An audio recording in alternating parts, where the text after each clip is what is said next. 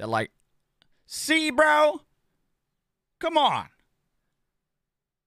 bro. That is it. That shows it right there. Boom. That shows it right there.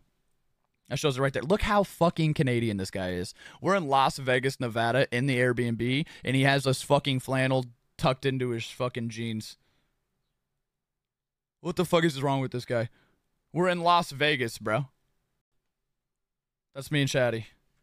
That's me and Chatty. That's me and Chatty. Bro. What's wrong with you? What's wrong with you? What's wrong with you, huh? What's wrong with you? Why'd you do this to me? What's your problem, huh? What's your problem, huh?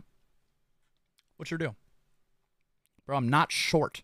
I'm not short, you motherfuckers, bro. I'm not short. I'm fucking six foot. I'm never gonna get out of this. I'm never gonna get out of this. I'm gonna start telling everybody I'm fucking five seven. Fucking telling everybody I'm five seven, dog.